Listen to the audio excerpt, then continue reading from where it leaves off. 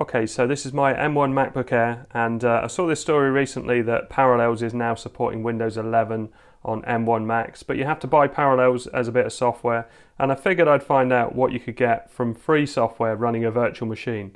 Now, I've been playing around with Ubuntu, and uh, the ARM version of Ubuntu runs really well. So I've just started up. I'll switch over to screen capture in a second, um, but basically Ubuntu here, uh, I can hit play and it launches Ubuntu.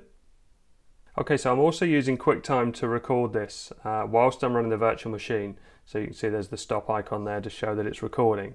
So if I go full screen with this version of Ubuntu uh, and I click on the web browser and I do a search, so say for instance Lee PSP video HDR, and you can see it comes up nice and quick and it just feels like a native machine. This doesn't feel like a virtual machine to me. So let's skip past the advert there we go. So now we should be playing at, oh, I paused it by accident. We should be playing at 1080 now. So if I do stats for nerds, you can see that everything is really, really responsive, really fast. Uh, so yeah, that's running at 1080, running nicely as well. So if I press escape just to bring that down a bit, uh, you can see I've got other web pages that open here at the moment. I've got a wallpaper that I was downloading, hot UK deals.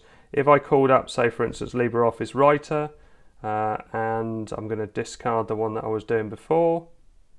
And let's just insert one of those pictures that I downloaded just now. So I'm multitasking. Even though this virtual machine is running on 3 gig of RAM uh, so the, the actual Mac is 8 gig but this is running on 3 gig of RAM. So if I import that picture you can see everything's working there. I can open up files, Rhythmbox, the App Store, open up the terminal call up NeoFetch just to show you that it's running the beta version or the latest version of Ubuntu Impish Indri.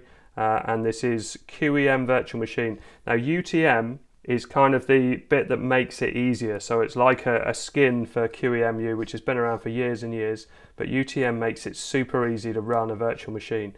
So this version of Ubuntu is the ARM version, and I downloaded the ISO of it, and, and it runs really well. So if I go back to the top here and let's put in OpenLara and just show you that it even plays games in the browser and pretty well. Oh, not if you click on the wrong page. So if I go back, it must be that one that we use. And all the time I can do four fingers up and you can see that I can switch between desktops and go back into the virtual machine. So if I do game and new game and then if we press the arrow keys we can run around. I don't know what shoot is. Probably control. Yeah control is shoot. Oh and I just I must have pressed and held control on that. So we go back into that uh, and then quit out of that but do a search for say BBC Sport. And it just it just runs incredibly well. I even installed Raspberry Pi Imager from the terminal and you can see that that works uh, and we can install operating systems on a Raspberry Pi uh, from this but the terminal just works as normal. I mean to be fair the terminal doesn't doesn't need a lot of information. I tried to install Steam but because this is running an ARM version of Ubuntu on an ARM device the Mac M1 Steam isn't available on that. Um, but uh, I tried uh, several other things as well and uh, lots of things worked as as expected. So so really really pleased with that. Now if you want to try this, uh, so if I just shut this down, so if I do power off, you're actually shutting down the operating system in the virtual machine, and then just close this down. You can see here I've got Ubuntu 16.04, which is uh, an x86 version, so like a normal desktop processor version runs terribly takes about two and a half minutes to boot um, and uh, and it just is really really slow. Whereas this version the ARM version runs incredibly well. Again it's only using 3 gig of RAM of the 8 gig. Uh, I could I could have allocated it 4 which may have improved it but it may have been taken a bit more away from Mac OS so uh, you know that's something to try. But if you press plus on here and go to gallery. And this is a free program you can download online. You can also get it through the mac os app store. And the advantage of getting it from the mac os app store is that it will apply the updates. Uh, i think you pay a tenner for it um, to buy it as a full product. And you can see here there's various different systems that you can click on and it will automatically set up the virtual machine for you. Um, so it's ready and waiting for you to install it on it. But if i go back and go to plus, we can also set it all up manually from scratch.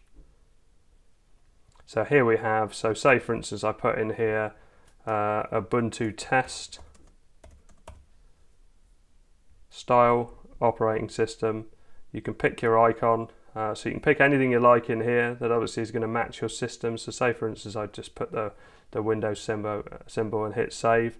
Uh, so that's there. You can also go into preferences and you can start changing some things about it. With Ubuntu, there is an ARM version, so you would use that. Same with Windows, there's an ARM version of that. So if you pick ARM as a processor, so this is the machine it's going to emulate, uh, and you can see here that there's ARM64, ARM32, there's i386, there's PowerPC, all sorts of things on here. But if I go for ARM64, allocate some RAM, so say for instance 3 gig, which I know has been working perfectly well, then you need to tell it what drives. So we do new drive, virtual drive, and we'll call this one 20 gig and create.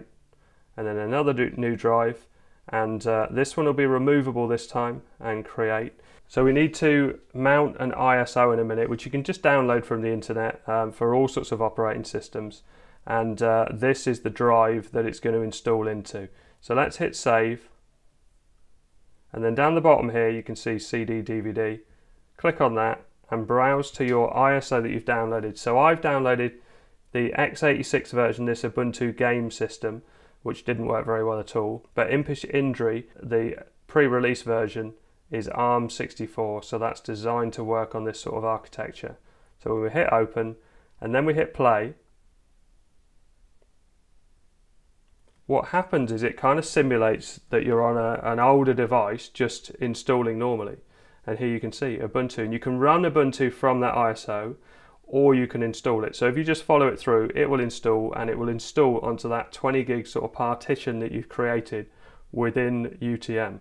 But I'll close that down because that part is pretty self-explanatory. It, it, it pretty much leads you all the way through and it is so impressive. I, ju I just wanted to show how well this was working as I say, other things I've tried weren't working very well. I do need to try Windows 10 or Windows 11 uh, because they are ARM-based operating systems. I reckon they'll run great on this, but I haven't tried them yet. Anyway, I hope all this helps. Thanks very much for watching. Please like and subscribe.